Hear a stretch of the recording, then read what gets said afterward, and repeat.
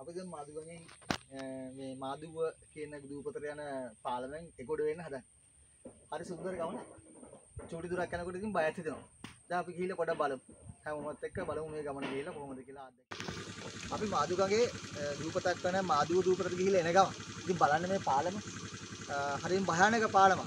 අත්කඳි පවා නැහැ. ඉතින් මේ මිනිස්සු දිනපතාම ජීවිතේ තියෙනකන් එහාට මෙහාට යන්නේ මේ පාලමේ තමයි. අපි බලමු ඉස්සරහට ගිහිල්ලා තව ටිකක්. අපි ඉතින් පෝස්ට් කරන්න වීඩියෝ දාන්න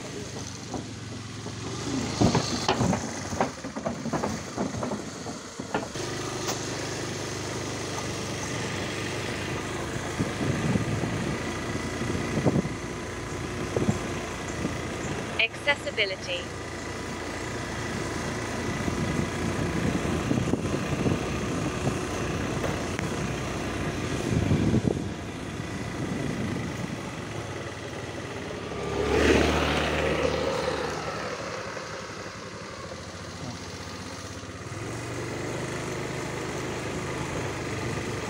හරිම සුන්දර ගමනක් ඒත් ඉතින් අ, හරි භයානකයි. අ, මේ ඉන්න ගමේ ඉන්න අයට නම් මේක යන්නේ නැක පුරුදු ඇති. ඒ වුණාට මේ පිටින් කවුරු හරි આવොත් නම් මේ ගමන ආයේ කවදාවත් යන්නේ නැහැ.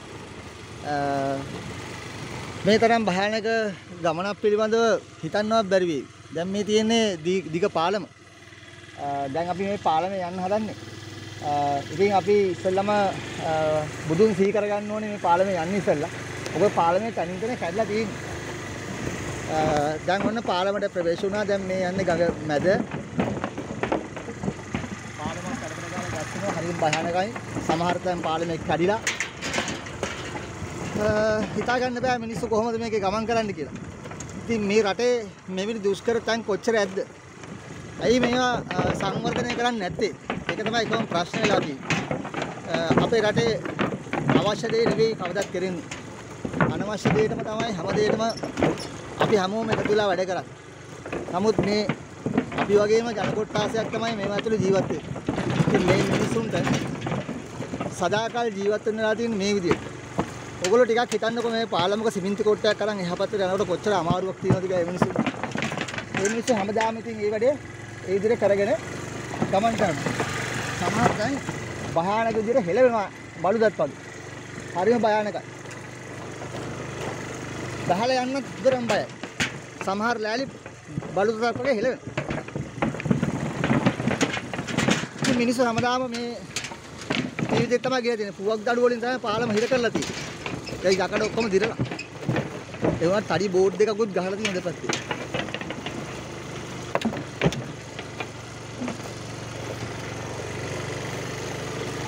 බයිසිකල් දෙකක් මාරු වෙන්නත් අමාරුයි.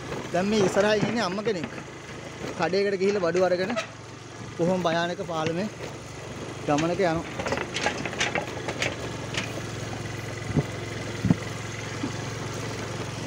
මේ ගඟත් හරිම ගැඹුරුයි.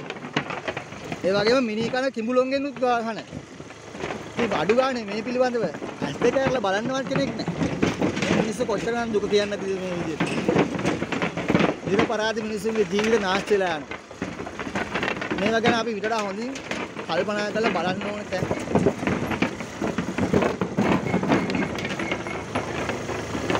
ඉතින් දේජන්ගේ පිටෙන් ඒකට ආවා. එහෙනම් ඉතින් ඔබ හැමෝටම බුදුසරණයි.